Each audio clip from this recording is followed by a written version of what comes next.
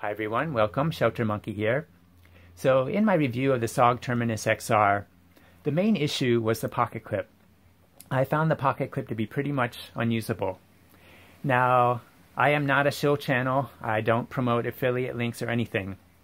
But anyway, one of the commenters commented that I had had the pocket clip inserted on the wrong side of the backspacer.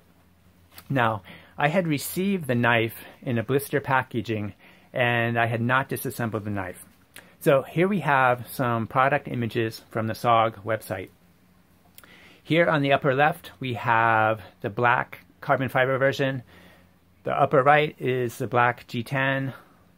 Bottom left is the red G10. And here we have the green G10. This is sort of like those uh, spot the differences game. So anyway, if you take a closer look at these, they are different. So these two on the top, if you look closely, this um, the pocket clip is inserted into the backspacer on the far side of where the clip contacts the handle, and this one is on the far side. But on these two on the bottom, the red and the green G10 versions, um, the pocket clip is inserted on the near side. So what is going on with this? Why, why are different copies of the knife leaving the factory in China in two different configurations? Well, I think it's a combination of two factors.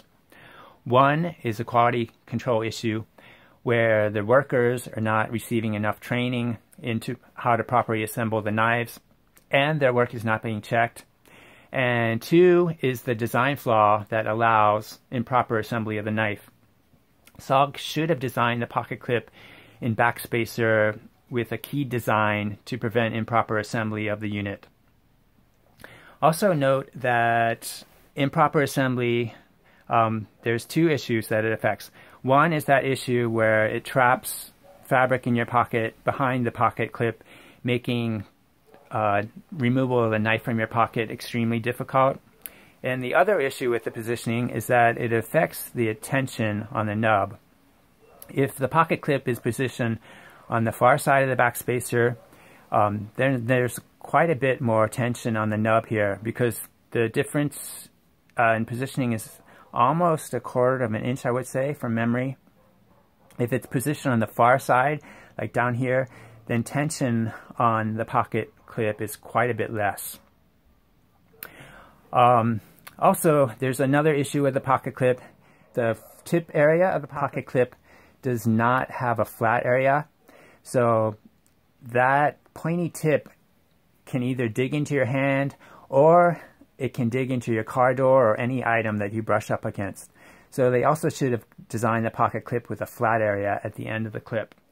So if you have a SOG Terminus XR out there, let me know which configuration you receive the clip in from the factory and how the clip works for you in your daily use. So also, if you have any questions, please comment below and I'd appreciate it if you could like, subscribe, and share. Thank you for watching and have a great day. Bye now.